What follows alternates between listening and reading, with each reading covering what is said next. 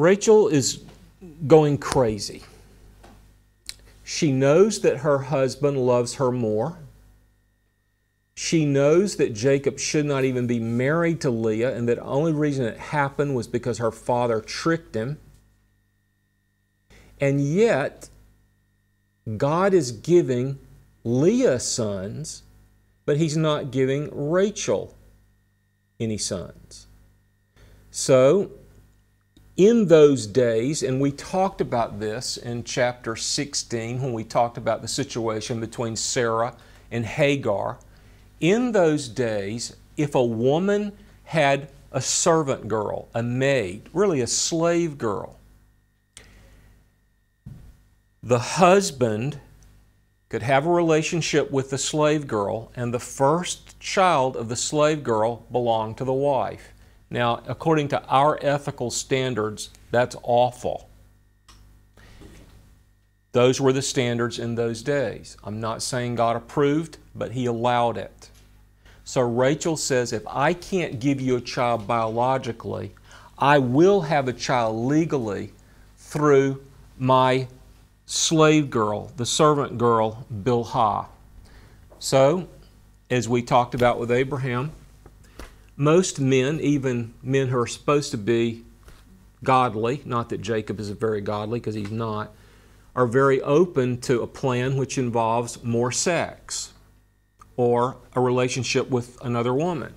So Jacob gives into this plan. And sure enough, the slave girl has a child. Rachel names the child, and um, the child is named Dan. It happens again. The child's name is Naphtali. So here's what you have. By the time you get to Genesis 30, chapter 8, Leah has four sons. The slave girl of Rachel has two sons, who, in the first of which, well, really both of them, are legally Rachel's children. But in chapter 30, it gets much stranger. And after the sixth child is born to Jacob, between Leah and the handmaiden of Rachel, um, something amazing happens. There's a time of wheat harvest. This is Genesis chapter 30, verse 14. And the oldest son of Leah is out walking in the wheat harvest. And he retrieves some plants for his mother. These plants are called in English mandrakes. It's a very unusual thing to think about in English. And it's, it's, it's a leafy weed. It's got a root like the root of a carrot. And in those days, the people who, who lived in those days believed that this plant would help a woman have a baby. And for that reason, these plants were they were sought out. They were considered good luck, like a charm. And Reuben brings these plants to his mother, to Leah. And uh, Rachel finds out about it. And in verse 14, Leah, uh, Rachel says to Leah, Share those plants with me. Leah believes that that's an outrageous request. And she says, Well, I already have to share my husband with you. And now you want me to share these mandrakes with you as well. Now, evidently, by this time in the marriage, Jacob is spending every night with Rachel, and he's not paying any attention to Leah. So Leah says, and I know this is terrible, it's almost like a form of prostitution, except for the fact that the people are married. Rachel says to Leah, uh, If you will give me those mandrakes, I will let Jacob come and spend the night with you. And uh, Jacob says, It's a deal. Now let's stop right here for just a moment.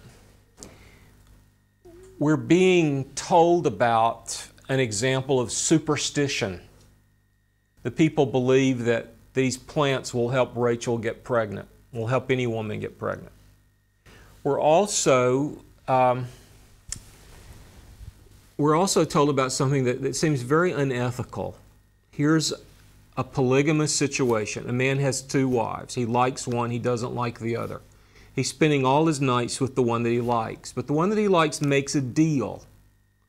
And the deal is if she can have something she wants, then she'll give her husband back to her older sister for, for a little while. It's, it's fairly, it just, it's not a good thing to read about. Why is the Bible telling us about these things? Well, the main reason the Bible is telling us about these things is because these things really happened.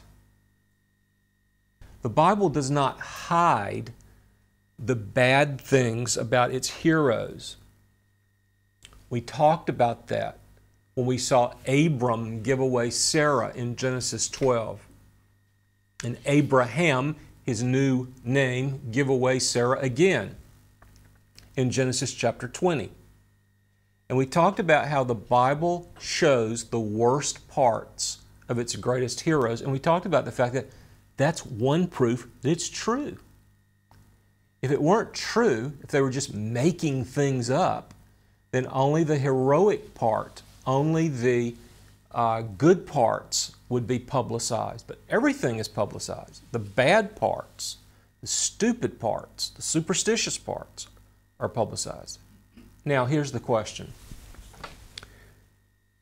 Do Leah and Rachel believe that those plants will help a woman get pregnant? Yes, they do. Is the Bible teaching that those plants will get help a woman get pregnant? No, it's not. The Bible is showing us what those women and perhaps Jacob himself believed. It's going to be clear all through the book of Genesis that these women have babies because of the will of God, because of the sovereignty of God, according to the timing and the pleasure of God. But twice in Genesis 30, we see something really superstitious, something really bizarre. First, with Rachel, and then with the cattle. Another superstition. And we'll, we'll talk about it in just a moment, and we'll talk about more about what the Bible is really saying. But now let's talk about this. Why does Leah keep having babies because as a result of this, she actually has two more sons. So Leah has six sons before Rachel ever has one son. And by the way, when we study the whole book of Genesis, Moses, who's writing Genesis, is kind of cramming some of the chronological features of the narrative together. And what I mean by that is probably, when we study the whole book of Genesis, probably Joseph wasn't born until they left and they got to Canaan. But since, Jake, since Moses is writing about these women having babies, he just takes care of the subject in one place and then he moves on to tell us about how Jacob left his, his uncle's house and fled Haran and went to Canaan. But right now we're talking about these babies, and we ask the question why? Rachel is the favored woman. Rachel is the woman that Jacob loves, why isn't she having babies? And why is it taking too long? Well, let's think about that question. First of all, think of the first matriarch. A patriarch is the first father, matriarch is the first mother. If the first patriarch is Abraham, then the first matriarch is Sarah. Think about her. She didn't have a baby till she was 90 years old. And then Rebecca, her daughter-in-law, Isaac's wife, he had a she had a problem getting pregnant. And now Leah has no problem getting pregnant, but Rachel does have a problem getting pregnant. Well, let me just say that God's plan is not adjusted to the one Jacob loves. God's plan is not adjusted to Jacob's will. One thing that Jacob is going to learn, and it's going to take him a long, long time, it's going to take him a real long time. One of the things that Jacob is going to learn is that this plan is God's plan, not Jacob's plan. And this plan is according to God's sovereignty, God's will, not Jacob's will. And we do feel sorry for Rachel because we like romance. Almost everything in our culture manipulates our emotions and our desires to favor romance. We're shown a movie. A man is married. Maybe the woman is not very nice. He meets another woman who is very nice and very pretty. Very soon, we don't want him to be with that first old wife. We want him to be with this new woman because that's romantic. So many films are like that. So many books are like that. And we're, we're having our emotions manipulated to get us into Satan's own territory so that we're actually desiring adultery and wanting adultery to take place. I'm from Atlanta, Georgia. The most famous book ever to come out of Atlanta, Georgia is a book called Gone with the Wind. There was a famous movie made in 1939 called Gone with the Wind. The book was written in 1936. It's about adultery. And you want adultery to happen. It's about a woman named Scarlett O'Hara who's married to one man, but you don't want her to be married to that man. You want her to be married to another man because you're manipulated romantically. Also, we wonder why does God why is God blessing Leah? Let me tell you something else about our culture. If a woman is beautiful, she's already in first place. I mean, it's so easy to forgive a beautiful woman. It's so much easier to forgive a beautiful woman. Just like it's so much easier to forgive a rich man. If a man is wealthy, we, we get the feeling that, well, he probably deserves to be wealthy. And if a man is poor, we get the feeling he probably deserves to be poor. And if a woman is beautiful, we get the feeling, well, she deserves to be beautiful. Well, she didn't have anything to do with it. It was God. It was God giving her a gift. God gave her a gift of beauty. God gave her a gift of Jacob's love, but God did not give her the first child, or the second, or the third, or the fourth, or the fifth, or the sixth. She had to wait. Now, she didn't wait. She gave Jacob her servant girl, thinking, well, I'm going to get a child one way or another, and thinking that she'd really done the right thing and God had really rewarded her. Well, he hadn't.